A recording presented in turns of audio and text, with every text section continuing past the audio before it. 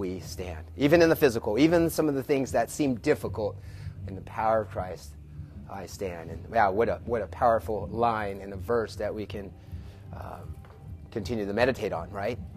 As we do the, the unbelievable, the things that seem impossible on paper, but God works through us in all things, right? That's what the blood of Jesus Christ actually stands for. If you only knew. Amen. Everybody only knew. Amen. That's for sure. All right, so let me pray again for us. Dear Heavenly Father, Lord, we thank you, Lord, for worship. Lord, we thank you for your word, your truth, Lord, as we get into your word and the book of James, Lord. Speak to us, Lord. Let your Holy Spirit guide and direct the message and those things that we need to hear. Uh, speak to us, Lord. We thank you, praise you. In Jesus' name, amen. Amen. amen. All right, so, so there was a, a couple that was um, going off in their 20th anniversary, marriage anniversary. They're getting ready to board a plane. And they got their boarding tickets uh, the night before, very early. So they're going to get there early. They wanted to get there quickly and make sure they got a good seat. And um, so they get there an hour and a half early. They're in the A seating. They're ready to roll in. And as they get in, they come to the ticket. You know, you scan your little ticket, maybe on your phone, but they had like the paper ticket. And they get in and uh, they get held up. Wait a minute, we get to her early. I just hold on, just wait right here. And then a little tunnel that you walk in and you get to the, and they're waiting there by the luggage and they're, they're, they have their carry-ons and they, they like put your carry-ons right here. And then they see the A group go by. And then they see the B group go by and they're asking the flight, uh, the attendant, hey, what's going on? You know, the, the, the line's piled up and they, they're boarding the plane. And she's like, you just wait right here, right here. The C group, you know, and they're, they're like now they're grumbling, they're complaining, they're they're telling one another, hey, we got here early the night before, we got this we got this flight, we want to enjoy, and then all of a sudden we're here and what's the holdup? They're kind of angry, right? And they're like, let's just talk to the pilot. What's going on? They're just trying to get the supervisor. They go back out of the tunnel and get the person at the front desk. Uh, they say, I can't help you. Just stand there, wait. And so as they're waiting, the last group goes. And they're like, man, now we're what are we do with our luggage? You know, we want to, if you're like me, you want to have your luggage right above you, right, in that compartment and your carry on. And they're thinking, well, now the carry ons are going to be probably with the luggage that they take on the plane. And they wanted to get to their luggage quickly. And, and so their name's called, Mrs. Er and Mrs. Jones. They call their name and they're to be seated. And so the flight attendant looks at their ticket. They look at their ticket. And lo and behold, the ticket says, First class. They're looking at it and they're like, what? What's going on?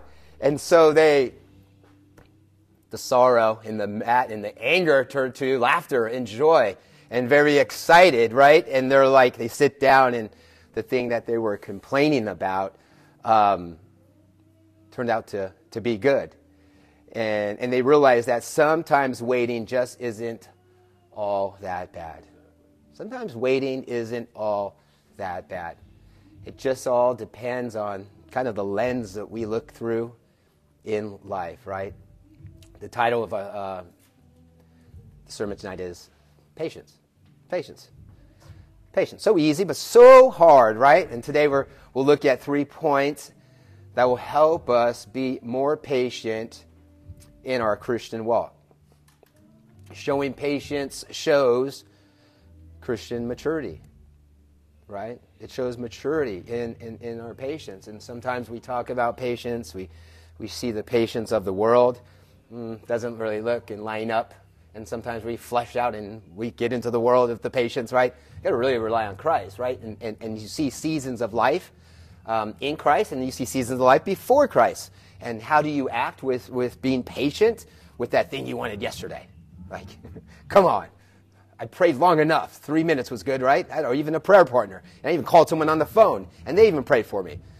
I should have that thing like yesterday. And so God knows perfect timing. He knows, he knows exactly when that time is. And so today, uh, let's take a look at, at God's Word, and let's open up to James chapter 5, verse 7 through 8. Who doesn't have a Bible or a Rubik's Cube? Joe? Right here. Electric or paper? And so we're in John chapter 5, 7. and it's up on the uh, board as well on the slide. All right, so it says, therefore be patient, brethren, until the coming of the Lord. See how the farmer waits for the precious fruit of the earth, waiting patiently for it until he receives the early and latter rain. You also be patient, establish your hearts, for the coming of the Lord is at hand. And so, patience, the definition looked up, the ability to wait without becoming hasty. And, and it's a, it's kind of like godly exercise, God given kind of gift to restraint from the opposition, not to be passively waiting, like on your rear end and hanging out, but actively waiting, moving forward in what God is instructing you to do, but moving in what He's instructing you for today to do, right? And when James wrote this, he was encouraging the church to, to wait patiently for the coming of the Lord. And over 2,000 years later, we're still waiting patiently on the coming of the Lord. Right? And so we still continue to wait. We continue, still continue to anticipate. Uh, you know, the Bible talks about he'll come in like a thief in the night. We don't know. So we always have to be ready. In 2 Peter chapter 3, 8 through 10, it says, But, beloved, do not forget this one thing that with the Lord, one day is as a thousand years, and a thousand years is one day. The Lord is not slack concerning his promise, as some count slackness, but is long suffering towards us, not willing that any should perish, but that all should come to repentance. But the day of the Lord will come as a thief in the night, in which the heavens will pass away with a great noise, and the elements will melt with fervent heat. Both the earth and the works that are in it will be burned up. We always are reminded that, hey, waiting is not so bad. And here at Fit to Serve, we, we remind, I say it a lot, that the, the, the journey is much sweeter than the arrival. It's a kind of a the journey, the nuggets that we get to kind of walk in.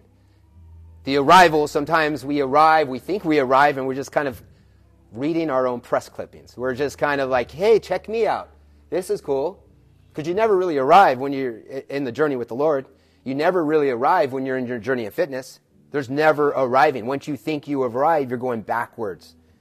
And so we see the, the great parallels, right, in the faith piece of our journey and, and, and then the physical journey. No matter how good of shape you're in, there's always something that you're stretching forward towards, and you want that like yesterday, right? James talks about the, the farmer who waits patiently for his harvest to be ripened, right? They have to, to uh, have complete patience, waiting on the rains, which are really out of their control. No control, like, right? I don't think I'd be good at a, being a farmer. I don't know if I, I. I love to drive one of those John Deeres, though. Wouldn't that be cool? An orange one. They're always green. An orange John Deere, and just like rock that thing in second second gear with 5,000 RPMs, like my car now. That thing would just blow up. So that'd be cool to drive one of those. But man, having patiently the weight, like if you had a weight on every single day uh, of, of, just knowing that that's your, your harvest of what you had to wait on. That was going to feed your family. That was going to maybe carried out through that quarter or that month. Uh, when we take for granted, we just, if the grocery stores are even closed, we can go to like a little convenience store and, and pick up. That's our inconvenience, right? Pick up some eggs at the, at the liquor store or something that's, you know, we can pick up the things that we need. Who remembers that uh, you guys ever watch that movie Faith Like Potatoes? They were, they were, they were growing this potato, as a potato farm, but it was, they were praying for rain and rain and rain, and it just never rained. And it's, just, it's this Christian movie. It's awesome. It's a great movie, but they just brought their family, their community, everyone together through that time because it was going to feed the, the community, it was going to feed their family. And so it was, it was important that, and, and it didn't look like things were coming through. And so that's what comes to mind when, when, I'm, when I'm thinking of, of a farmer. Some of you guys grow things. I know Coach Dave grows things, but some of us grow things, you know, in, in plants or whatever you grow, you, you, you wait. And sometimes if you have, uh, if you're not growing things in a pot but outside, you, there's seasons. There's season of growth. There's watering. Like sometimes we have the the uh, pleasure to th- turn on our our sprinklers or our hose, but to wait on uh, rain um, is sometimes tough. But even us non farmers have plenty of opportunities to develop patience, right? Waiting for the arrival of a baby, starting a new job, finishing school, waiting for loved ones to come visit us. Maybe slowly improving, like we talked about, your, your physical health or your spiritual health. All these help in testing our patience. They all help, right? In verse 8, it says, You also be patient, establish your hearts, for the coming of the Lord is at hand. And we remember last week, or not, well, a couple weeks ago when we were in James 1 through 6, verse uh, 5 says, You have lived on this earth in pleasure and luxury. You have fattened your hearts as in a day of slaughter. He's talking about the rich man.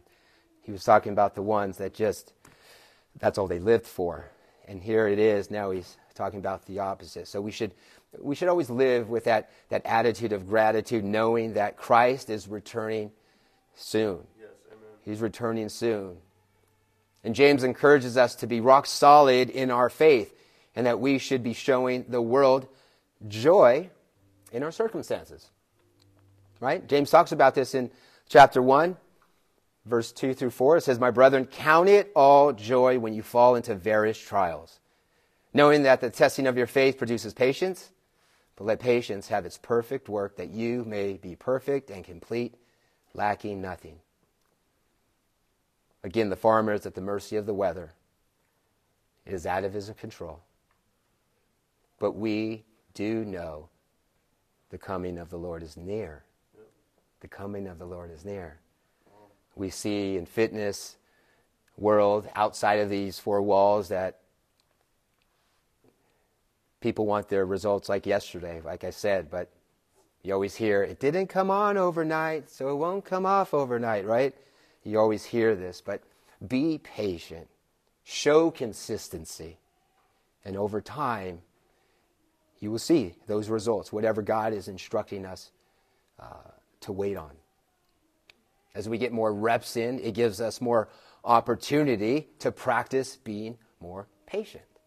Time under tension, time of having opportunity to be patient, um, relying on the Lord and not relying on self. Yeah. The more reps, the more time we get. It's like building that physical muscle. The more time you curl that weight or you squat that bar in your back, the same amount of tearing of the muscle and build, tearing it down so you can get built back up, right? You tear the muscle down. People think they build the muscle in the gym. No, you're tearing the fibers. You go home, what you eat, how you prepare, how you sleep, your water. Well, the same thing with God. When He tears those, when you are going through adversity, you get torn down. Yes, amen. Then you get built back up when you rest in Him, when you rest in His Word. Not in just doing just foolish things and just kind of being busy with nothing, but spending like simple quiet time with Him and seeing what He, how He wants to build you up in that thing you're being patient for. God cares about our spiritual growth, and He knows how much we can handle. This brings us to our first point. First point is God's way is seldom the quick way, but it's always the best way. God's way is seldom the quick way, but is always the best way. Not always. It can be quick, right? Not always. It's, it's not seldom quick. You know, just look through the Bible and you'll see. yep. And you'll, you'll see how long, and you'll see, you'll just see testimony after testimony. Just read through the Old Testament to New Testament. You just see great examples that, that God gave us for us to, to watch and learn. And, and we get to learn from just each other's testimony and watch and learn. Talk to your brother or your sister who is here in this gym with us and just, just listen to what they get to go through. And, and God may be speaking to you through, through them about their journey, what they're doing, what they're walking in. Isn't that crazy? And sometimes we're like, no, no, I'm going to show me something cool. No, no. Maybe it's just having an open air. And I'm speaking to myself because I'm, I'm great at talking, but man, listening, wow. right? like, let's listen and see what God is, you know, it could be on the radio. It can be in, in here in the gym and doing something that had nothing to do with spiritual, whatever. It could be on the, a walk, walking to that brick wall that you had a partner that you just got to know them right. better by a slow little walk a couple times back and forth. Where, where would you have done that any time before, maybe? Verse 9. He says, Do not grumble against one another, brethren, lest you be condemned. Behold, the judge is standing at the door. And when we face persecution from the outside, like trials, some, our relationships, work, finances, we then bring these, these problems to the inside of our business or our home and find ourselves grumbling, complaining, criticizing one another. We, we, things that we are being, that God is working through us, that we look and grumble and complain. In Philippians 2, chapter 14 and 15, it says, Do all things without complaining and disputing that you may become blameless and harmless children of God without fault in the midst of the crooked and perverse generation, among whom you shine as lights in the world. So we refuse to grumble with another brother or sister in Christ is part of what it means to be patient. It's patient. This brings unity. Sometimes we, we talk, sometimes we're, we're, we have more unity outside with our non believers. And then we come and we have our brothers and sisters in Christ, and there's complaining and grumbling and harsh words. And if we grumble about each other, it destroys unity, right? It's the opposite, it destroys it. This also allows us to have the, that careless attitude of speech, of what comes out of our mouth. Remember um, in chapter 3, J- James talks about the tongue, right? How, how damaged, how, how, how um, what God has used to build up, and maybe in our relationships with people, that in a second, what comes out of our mouth can destroy that. Oh my gosh, just burn that house down with those words. And, and we all been there, right? Like, oops, why did I say that? And then, oops, why did I say? You know, and, and, and, that takes practice. That takes patience. It takes when someone is like, and then we get to blame and like, they just got under my skin. They said this and that. No, no, no. It's things that we're dealing with. And it's just an area where God has to work on with us. Right?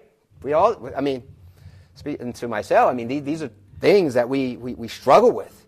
And we need, we need each other to pray for these things that we battle with. Because those words, sometimes those words will, will be remembered for so much time. And most importantly, it can ruin our testimony in the future when God really has something for you to tell them or tell someone else. And so, understanding and listening, we all have the Holy Spirit, those who are saved. That little small voice and tugging on your heart. Hold back. Don't say that. Maybe it's a walk. Maybe it's going to the. Maybe it's, hey, excuse me real quick. Let me pray. And when you're talking and someone's saying something, you, you ever get to pray silently when that person's saying something? Right? Lord, just give me the right words, give me the patience, right? So you can pray right there. It doesn't have to be at a church or, you know, by yourself with, on your knees, just right there speaking to the Lord. And then it says, the judge is standing at the door, uh, um, the end of verse 9. James mentions the great judge over in um, James 4.12 when we talked about it, it says, uh, There is one lawgiver who is able to save and to destroy. Who are you to judge another? There's only one. James warns us to, to not be in the middle of judging, gossiping, criticizing, or any quarreling, or any fights, or any bickering, right? And so, point number two, this brings us to point number two patience brings unity. Patience brings unity. I got a good signal right there. Wow, I was off by 20 minutes. So here it is. What is the difference between unity with believers and unity in the world? That might be a question right there. Let's look at Philippians 2 2. Fulfill my joy by being like minded, having the same love, being of one accord, of one mind. All right, let's move on to 10 and 11. Verse 10 and 11. My brethren, take the prophets who spoke in the name of the Lord as an example of suffering and patience. Indeed, we count them blessed who endure. You have heard of the perseverance of Job and seen and, and, and intend by the Lord that the Lord is very compassionate and merciful. James reminds us of those who went before us who did no wrong but suffered much. Even now, they did no wrong, but they suffered much. Today, it's still going on. If you're standing for Christ on the front lines, you may suffer much. We're, they hated Jesus. They're going to hate us. They're not going to like, especially where our world is today. Are you ready? Are you ready to take a stand? Are you standing up for righteousness or just standing up to whatever feels comfortable? And there's many of them. And over 40 years, Moses had to endure complaining and grumbling with the Israelites. Remember that? I mean, can you imagine being uh, enslaved for over 200 plus years and then finally being set free? Then they, they, they grumbled and complained to God another 40 years. I mean, right? They, they wandered in the wilderness. They could have got to the promised land in 12, 12 miles, but because of uh, wanting to chase after their own desires, they wandered 40 years trying to find the promised land. Promise the generations, not them. Yes. Great picture of our lives of, of coming to Christ. You know, I look at, you know, being enslaved when they were in G- Egypt, as that's in, you know, we were in our, in our sin, right? And God used Moses to free the Israel, Israelites. They were saved. That's us being saved. And then parting the Red Sea, them going through the Red Sea is, is the baptism of it, baptism in Christ. And then the 40 years in the wilderness is us deciding to make God not just our Savior, not just saying, I'm saved, but sometimes it takes us many years to say, You're the Lord of my life. When does that take place? Some of us just say, Hey, I got a free ticket. I went to an altar call. I am saved. And that's it. They sit on their behinds and then they just wait. And it can be a 40 year wait if we don't get it right. And then the promised land, when they reach the promised land, is understanding God's calling in life and walking in it daily. Many other examples in the Bible that suffered, that showed patience. You knew Jer- Jeremiah, the, the weeping prophet, was thrown into the mud of the empty cistern. Daniel was cast into the lion's den. So now James mentions one of the most patient, enduring people in the Bible. Let's read chapter uh, verse 11. Indeed, we count them blessed who endure. You have heard of perseverance of Job and seen the end intended by the Lord, that the Lord is very compass- compassionate and merciful. We all know the, the story of Job. He was devoted and, and faithful to the Lord. He was very prosperous, happy, and joyful. Here comes the devil and suggested that Job was faithful because he was so blessed. He had all these things. If his blessings were removed, his loyalty to God would, would just vanish. Take these little blessings away. Let's see what happens. So the Lord allowed Satan to test Job. Remember, he lost his family, his health, his possessions. But in the end, Job still stands strong with his faith. And then again, the devil was wrong.